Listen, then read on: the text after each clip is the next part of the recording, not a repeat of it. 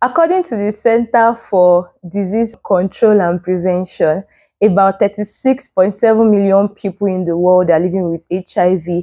Although there has been a tremendous improvement in the management of HIV, lies are still spreading fast. All right, so hello everyone, welcome again to my YouTube channel. If you are new here, you are very much welcome. My name is Damilola Oyetola and I'm a medical doctor. I film about faith, medicine, and lifestyle. In today's video, I'll be sharing with you some lies and also truth about um, HIV, its management, just everything about HIV. I've been making some videos about HIV and hopefully this will be the last. But before I proceed with the content for today, please endeavor to watch this video to the end. It's very important. Please like this video, share with your friends and family and of course very important. Please subscribe to my youtube channel. Thank you. All right so the first thing is that if you have hiv people think that it's the end of the world. Now if you've watched my previous videos on hiv i've talked about this a lot of times. Being diagnosed with hiv is not a life-threatening condition. It doesn't mean that your life has come to an end. It doesn't mean that you're just going to drop dead and you know that's just the end. No, you've not come to the end. It's just a curve in the corner. It's not the end of the road. Now, you need to understand that if you use your medications as prescribed, you get to a point where your viral load is very suppressed. And at that point, you won't be able to spread the disease. And also, you will be able to lead um, a healthy lifestyle. You just need to take your medications as prescribed. Easy peasy. The second thing is um, quite similar to this, and I feel like I've already explained it with this first point. The second lie is that a lot of people think that once you have HIV, then before you know it, you're going to have AIDS. Now, the good news is that not everybody that is HIV positive progresses to AIDS. So the AIDS is when the opportunistic infections come in and then the immune system is very much suppressed. Um, please, you can just revert to the previous video so that um you understand more about it. But you need to understand, like I've said in the first point, that if your viral load is suppressed, use your medications as prescribed, then you won't go on to having it. So no, it's not everybody that is HIV positive that will eventually have AIDS it's actually in your hands the ball is in your court. You do what your doctor tells you to do. Use your medication like your life depends on it because it actually does depend on it. Then the chances of um progressing into it is actually very very slim. Number three hiv can be transmitted by holding hands. This is not true at all. I believe that this is just an attempt to promote stigmatization about people that are living with the hiv virus. Now you need to realize that simple things like holding hands hugging, um, sharing cutleries, um, living in the same space with the person, sharing the same air in the same location will actually not improve chances of transmitting HIV from one person to another. That's a lie. And if you've been believing such, please, it's time to discard that. Now, you need to understand that HIV can only be transmitted from um, infected blood infected semen, vaginal fluid, or infected breast milk. Otherwise, holding and sharing cutleries, hugging, living under the same roof with a person that has HIV would not increase your chances of also um having the virus. The fourth lie is every HIV um, positive pregnant woman will always infect their um babies. That's actually not true. The first thing you need to understand is if you're HIV positive and you're planning to get pregnant, please see your doctor for preconceptional counseling. Then your doctor is going to guide you on what to do and how to um, reduce your viral load and prevent transmission to your unborn child. Now, you need to understand that if um, you are taking medications and your viral load is suppressed, then the chances of um, transmitting it to your unborn child is actually high.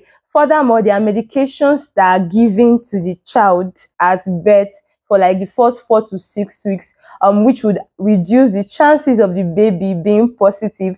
More so, your viral load is so high and uncontrollable, then your doctor might um, tell you that you need cesarean section and that way it would um, reduce the chances to less than 10% of um, transmitting the virus to your unborn baby. Number five, I can know when my partner is HIV positive or I can tell it just by looking at um, a person that they are HIV positive.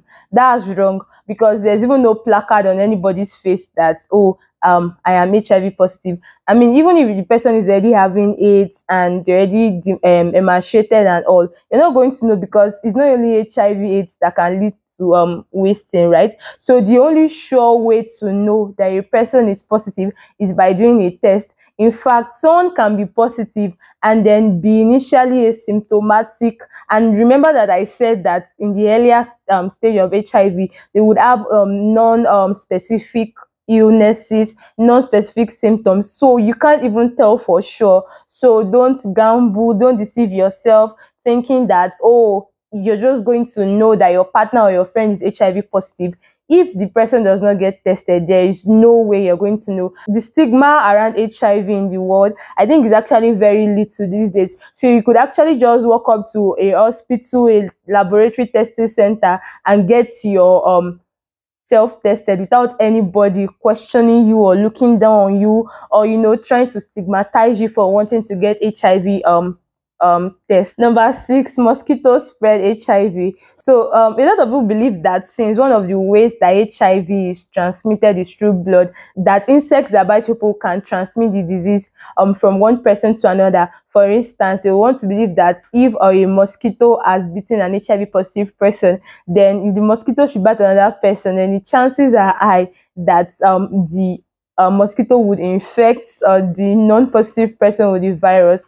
But you need to understand that that's not true. When you are bitten by an insect they don't inject the blood of the previous person that was bitten by them into your system. No it doesn't work that way. You also need to realize that if hiv can be transmitted through insect bites then a lot of people that are living in um endemic regions for malaria, for example, people living in Nigeria, then we should have a higher um, number of people that are HIV positive. So say HIV cannot be transmitted if an insect has bitten a positive person and then goes ahead to bite somebody who is negative. No, I mean, if it works that way, then the population of HIV positive people in Nigeria would be alarmingly high.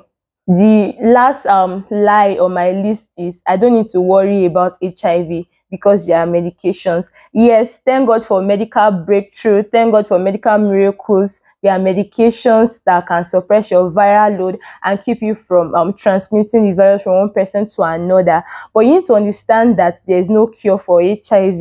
It can only be managed. Now, this is one of the lies that um, people tell themselves that help them to engage in end damaging behaviors. I mean, um, at least I can use medications right. Understand that there is no cure for HIV and that it is lifelong. That means that you have to pop pills every blessed day of your life.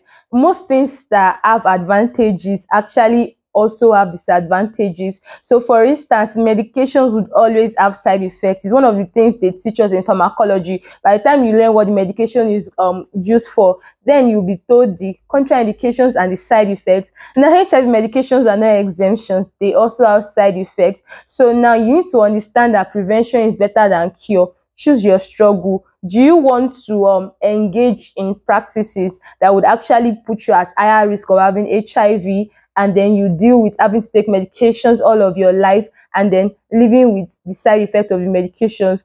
Or you want to err on the side of caution and then you don't engage in um, health damaging um, activities that will make you positive and that way you are safe because prevention is better than cure. All right um thank you for watching. I'm sure you've learned something new. Um this is the end of this video.